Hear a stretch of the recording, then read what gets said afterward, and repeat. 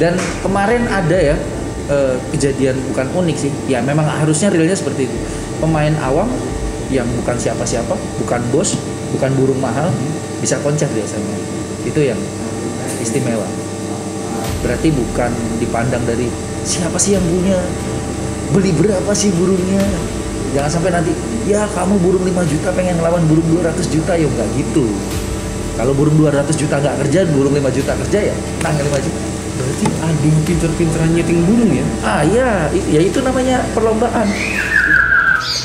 Untuk teman-teman pencinta murai batu, jangan lupa terus menyaksikan channel Kapten Murai. Subscribe sekarang juga. Jangan lupa tetap jaga jarak, berikut maskernya jangan sampai dilepas. Terima kasih, selamat malam. Lanjut. Kapten Murai, siap Kapten. Koridor P13, P13. Masuk perintah udan. Dari utara ada yang nggak pakai helm. BB pakai baju kotak-kotak. Monitor dan. Ah, usahakan kita berhentikan dan. Kiri nap kiri kanan nggak pakai tutup kepala itu Oh, iya. sepeda BB warna hitam orangnya pakai baju kotak-kotak. Monitor dan sementara hijau dan nanti kalau terlambat lampu merah kita berhentikan dan.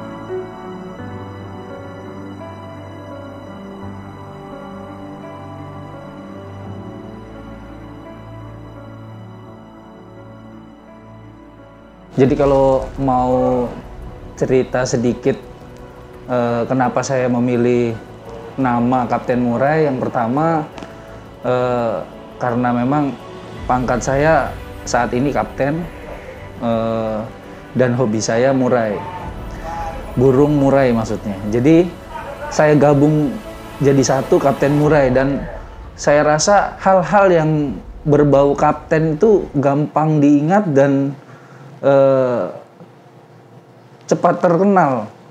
Contohnya ya, Kapten Subasa, ya. Kapten Amerika, ya. Ya, itu adalah tokoh-tokoh yang mungkin menggunakan kata kapten dan familiar di telinga masyarakat. Jadinya akhirnya saya putuskan, oke lah, karena itu eh, identik dengan kedinasan saya, saya berpangkat AKP, sebutan lain kapten, terus saya juga hobi murai, jadi saya gabungkan. Eh, ketika saya mencoba memutuskan untuk membuat konten YouTube, ya udahlah, apa salahnya saya pakai Kapten Murai. Siapa tahu kayak Kapten Amerika sama Kapten Subasa lah ya kan.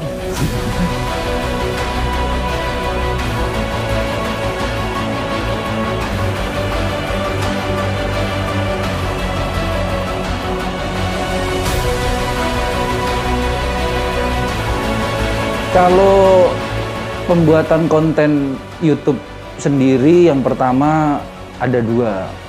Eh, kalau dari dunianya mungkin karena sebagai penyalur hobi saya.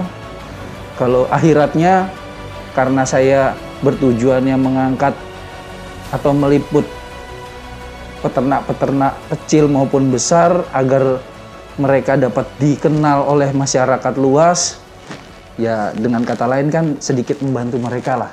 Kalau misalnya produknya mereka laku atau burungnya mereka dikenal di Indonesia dan bisa transaksi jual beli, mereka dapat rezeki, saya dapat pahala lah.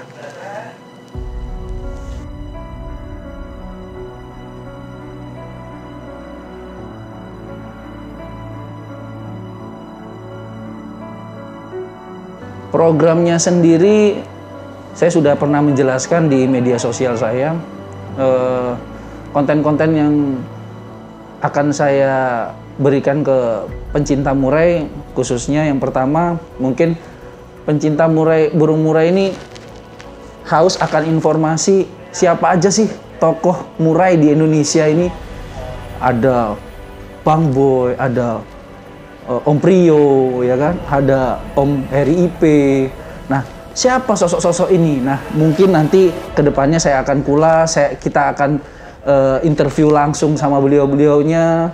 Apa hobinya, apa burung pertamanya, apa kesukaan, kenapa dia suka murai, nanti akan kita kulik.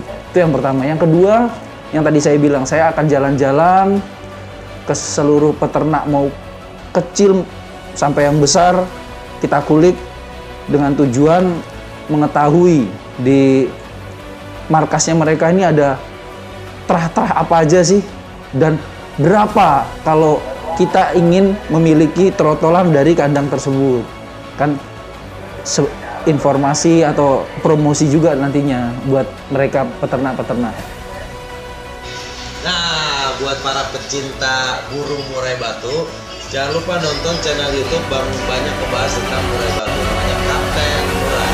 Kapten Murai, siap kapten.